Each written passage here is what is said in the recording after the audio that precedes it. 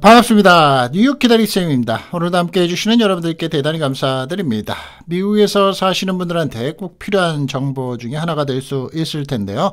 경기도 어렵고 인플레이션의 시간이 계속되고 있습니다. 벌어들이는 소득은 오히려 줄어드는 것 같은데 나가야 되는 돈은 더 많죠. 세금 보고를 하시는 income 소득에 대한 tax 보고철에 어느 순간에 나는 저소득층이다라고 생각할 수 있는 그런 상태가 되기도 합니다. 미국의 저소득층이 받을 수 있는 그러한 정부 혜택들에 대해서 오늘 짚어볼까 하는데요. 여러분들에게 꼭 도움이 되시고요.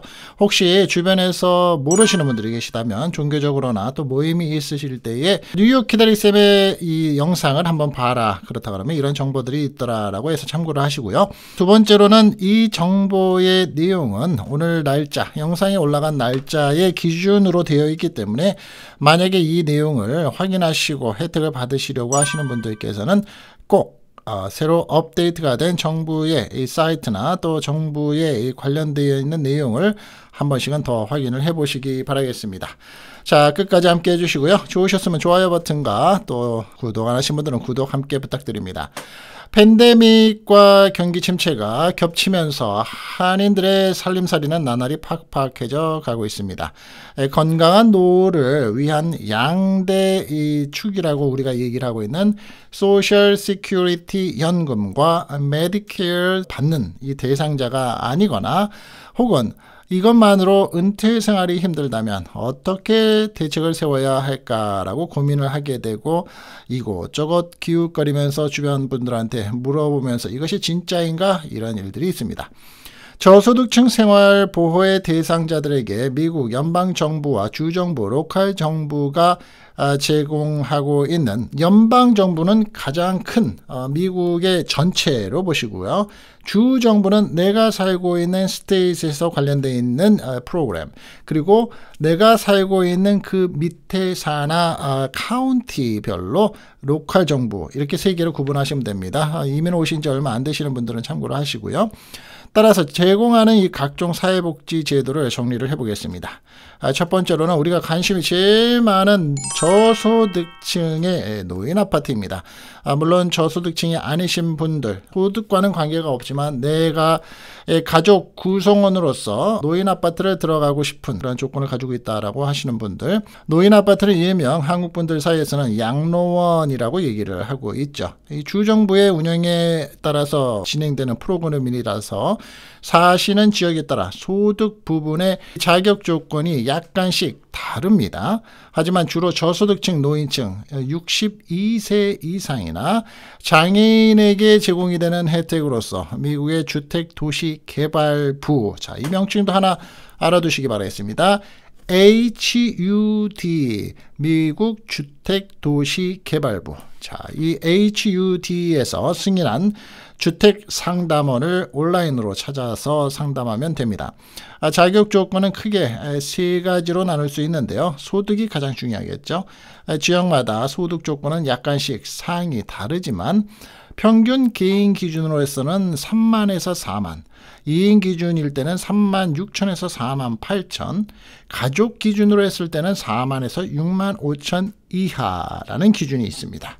신청인의 연소득, 가족과 직업과 은행 잔고, bank statement의 내역을 신청서와 함께 제출을 하시면 됩니다. 자격 연령은 62세 이상 노인으로 보시면 되고요. 일부 주에서는 55세 이상이 가능하기도 하고요. 저소득층 가정, family인 경우에도 가능은 합니다. 또는 이제 disability라고 해서 장애인이신 경우에 해당이 됩니다. 그러면 이제 qualified status는 어떻게 되느냐라고 보시면 이것은 미국의 시민권자나 영주권자인 경우에 해당이 됩니다.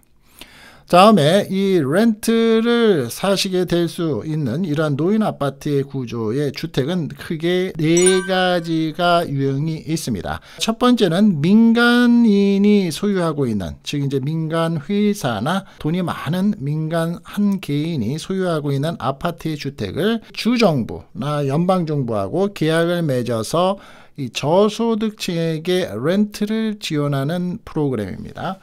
둘째로는 주정부에서 운영하는 노인 주택 주택, 즉 주정부에서 자체적으로 이 아파트를 건설을 하거나 예전에 있었던 아파트를 테이크해서 레노베이션을 한 후에 저소득층이나 노인에게 혹은 장애인들에게 공급을 하는 그러한 프로그램입니다.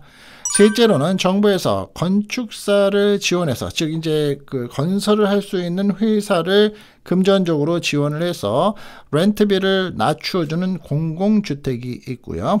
넷째로는 임대 부동산을 저소득층이 노인이 직접 찾아서 정부로부터 이 바우처, 이 바우처, 바우처 는 스페링도 좀 알아두시면 좋겠죠. V O U C H E R 바우처를 받아서 임대료를 내는 어, 그런 지원 방법입니다.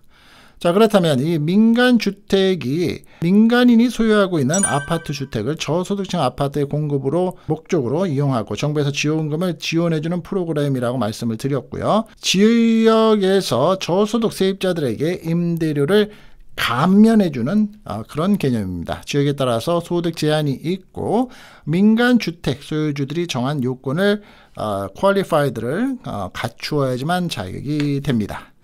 노인주택은 노인 세입자들을 위해서 주정부에서 제공하는 주택으로서 세입자의 인컴에 따라서 낮은 임대료를 내면서 제공하는 주택의 형식이고요. 소득에 따라서 렌트비가 약간씩은 다르지만 저소득층의 경우에는 내가 벌어들인 소득의 약 30%인 월 200에서 300달러의 낮은 임대료로 이용할 수 있습니다. 아, 수요가 높고 공급이 낮은 그런 분위기가 어느 주의 어느 타운, 어느 카운티든지 다 비슷하죠. 따라서 입주가 어렵 기는 합니다. 뭐 까다로운 입주 조건을 가진 건 아니고 순서를 기다리는 것이 굉장히 많죠. 뉴욕 같은 경우에나 LA 쪽 같은 경우에는 적게는 뭐 1년, 많게는 5년, 7년까지도 기다려야 되는 경우가 아, 비일비재하죠. 일단 입주를 하면 죽을 때까지 낮은 low 렌트비를 내면서 이용을 할 수 있습니다. 다음은 이제 아까 말씀드린 공공주택 Affordable Low Income Housing이라는 것은 아, 정부에서 건축사를 지원하여 지은 주택의 일부를 저소득층 가정을 위해서 아파트의 일부를 저렴한 가격 즉 30에서 80%의 일정 기간 동안 임대, 렌트를 해주는 프로그램입니다. 아까 말씀드린 바우처, 이 바우처의 프로그램은 주로 저소득층 가정에 지원되는 프로그램으로서 세입자가 임대, 이 렌트를 하고 있는 realty, realty 부동산을 직접 찾아서 정부에 지원하는 바우처를 통해서 렌트비를 아, 내는 방식입니다. 정부는 세입자의 바우처에 해당하는 금액을 렌트하고 있는 임대인에게 아, 직접 지불을 하는 거고요. 자, 다음으로는 저소득층 아파트 렌트비 보조 일명 섹션 8 바우처 섹션 8 바우처라는 게 있습니다. LA에 한국 분들이 많으신데 LA시 같은 경우에 저소득층 렌트비 보조 프로그램인 섹션 8 바우처 신청 대상은 이 세대 패밀리 하우스홀드의 가정 구성원 수에 따라서 연소득이 4만 1,700달러 이하 이거는 1인이고요. 4만 7,650달러 이하 2인인 경우 5만 3,600달러 이하 3인인 경우 5만 9,550달러 이하 4인인 경우 6만 4,350달러 이하 5인인 경우가 포함이 될 수 있습니다. 2017년도에 이어서 5년 만인 지난 10월 신청을 받아서 접수를 마감을 항상 하고 있고요. 신청자 중에 3만 명을 무작위로 추첨해서 대기자 명단에 올리게 됩니다. 보이시는 웹사이트 주소에서 대기자 당첨 여부를 확인할 수도 있고요. LA시인 경우에 해당이 됩니다. 다음으로는 저소득층 대중교통에 관해서 무료로 탑승하실 수 있는 LIFE라는 프로그램이 있습니다. 메트로에서 시행하는 LIFE LIFE 프로그램은 저소득층은 대상으로 해서 매월 20회의 무료 어, 탑승 또는 이에 상하는 요금 할인을 제공합니다. 자격이 되면 90일간 유효한 무료 패스를 받게 되고요. 90일 이후에는 할인된 디스카운트된 금액으로 사용할 수 있는 프로그램도 있습니다. 자, 다음으로는 또 한국 분들이 가장 관심을 많이 가지고 계시는 이 미국의 대표적인 사회복지 서비스 중에는 저소득층의 생활보조금인 SSI와 CAPI와 같이 현금을 지원하는 프로그램이 있습니다. 저소득층을 위한 건강보험 Medi-Cal과 food 프로그램으로 잘 알려진 CalFresh 등도 유용한 사회복지 프로그램이죠. 저소득층을 위한 생활보조금, 실질적으로 생활하는 데에 경제적으로 현금을 보조하는 그런 프로그램인 SSI. 현재 미국에서는 근로 credit이 부족하고 수입도 없는 이 800만 명의 이상의 시니어들과 장애인들이 Supplemental Security Income의 약자 SSI를 받고 있습니다. 수혜 대상은 65세 이상의 시민권자이고요. 혹은 영주권자로서 은행의 bank statement의 잔고가 개인은 2,000달러, 부부는 3,000달러 미만인 저소득층이 해당이 됩니다. 살고 있는 주택의 한 개, 자동차 한 개, 사망 보상금의 1,500달러 미만의 생명보험, 어, 묘지 등은 재산에 포함이 되지 않는다고 합니다. 영주권자는 이 40 점 40 이상 크레딧이 있어야만 합니다. SSI 수령 금액은 개인은 월 841달러, 부부는 1261달러가 되고요. 방송을 보시는 시기가 다 다르실 수 있기 때문에 이전에 말씀을 드린 것처럼 확인을 하셔야지만 된다는 점. 소셜연금의 SSA와 SSI는 다릅니다. 이 SSI는 지금까지 설명을 드렸었던 수당, 저소득층 생활보조금에 관한 돈이고요. SSA라고 이제 또 있습니다. 이 SSA는 소셜 연금입니다. 연금과 다른 소득원을 모두 더해서 연방 기준 소소득층이 인정될 경우에는 SSA를 받는 사람도 동시에 SSI를 받으실 수 있습니다. 이런 질문이 굉장히 많죠. 보통 때 소셜연금을 받고 있는데 내가 SSI를 받을 수 있느냐 갑작스럽게 경제활동에 있어서 몸에 건강에 문제가 생겼는데 받을 수 있느냐 이런 질문들을 많이 하셨는데 그 전에 왜냐하면 제가 이런 영상들을 단락별로 명목별로 올려놓은 영상들이 많이 있습니다. 영상들을 그 영상들을 링크를 걸어드릴 테니까 링크는요 이 영상 제가 보이는 이 얼굴의 영상의 밑에 쪽에 있습니다. 자 이민 가정을 위한 현금 지원 프로그램도 있습니다. CAPI라고 합니다. 캘리포니아 주정부가 주관을 하는 현금 보조 프로그램으로서 소셜연금 SSA나 생활보조금 SSI를 받지 못하는 영주권자를 위한 제도입니다. 자격 조건은 이 캘리포니아에 거주하는 65세 이상의 시니어와 장애인으로서 월 소득이 CAPI 수익금보다 적어야지만 한다고 합니다. 아, 그 내용으로서 재산은 개인 2,000달러 그리고 부부는 3,000달러 미만이며 SSI를 신청했지만 거절을 당했을 경우에도 신청을 할 수 있습니다. 자, 또 하나는 한국 분들이 또 역시 관심을 많이 가지고 계시는 이 저소득층의 건강보험에 관한 겁니다. 메디 칼이라고 합니다. MEDI-CAR, CAL. 캘리포니아 주에 거주하는 19세 이상의 영주권자 및 시민권자, 저소득층을 위한 주민들을 위해서 메디켈에 가입을 할 수 있습니다. 보험료와 코페이를 내지 않고도 주치 및 전문의 치료와 처방약, 치과, 검안과, 즉 안과죠. 진료, 장기 요양시설 서비스 등의 혜택이 주어집니다. 7월서부터 메디켈의 수혜자들의 자산 조건이 대폭 완화가 되면서 유동재산 제한선이 개인 13만 달러, 부부는 19만 5천 달러로 혜택에 확대가 됐습니다. 단 월 소득이 개인 1,563달러, 부부는 2,106달러를 이하로서 유지를 해야 되고요.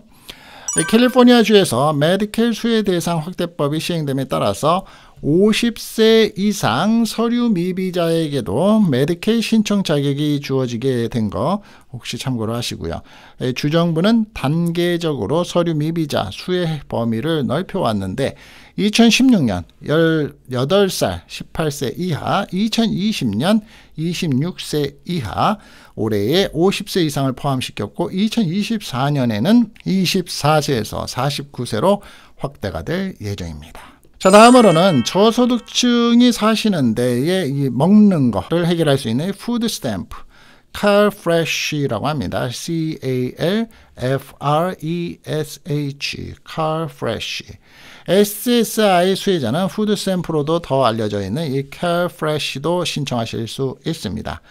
저소득층 주민들이 마켓에서 식료품을 구매하거나 식당에서 식사할 때 사용할 수 있도록 이 debit 카드 형식으로도 지원이 됩니다. 아마 이 마켓, 이 슈퍼마켓, 우리가 많이 말을 하는 이 슈퍼마켓, 마트에 가셔가지고 계산대 앞에서 보면 앞에서 계산하는, cashier 앞에서 계산하는 사람들 중에서 이런 체크를 내는 사람들을 많이 보셨을 겁니다. 이것이 그것에 해당되는 거고요. 이 가족 수에 따라서 매달 100에서 500달러까지 받을 수 있고요. 저소득층 한인들에게 큰 도움이 되기도 합니다.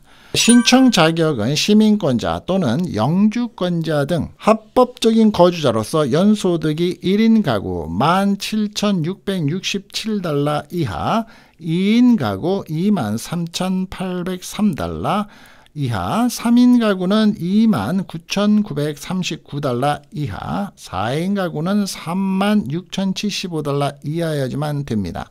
한편 캘리포니아의 주정부는 연방 사회복지의 이러한 베니핏을 받을 자격이 안 되는 55세 이상의 서류 미비자들에게 이 캐프레쉬 혜택을 주기 위해서 현재 예산을 책정한 상태이기 때문에 남들 다 받는 거 지금 살면서 정말 마음의 상처와 스트레스와 극단의 생각까지 하시는 분들이라면 또 혹은 이런 프로그램을 모르고 계시는 분들이었다면 지금까지 종합적으로 쭉 말씀을 드렸었던 미국에서 받을 수 있는 대표적인 이 혜택들, 이 혜택들에 대해서 미국의 저소득층이 받을 수 있는 이 복지 혜택 꼭 알고 계시고요.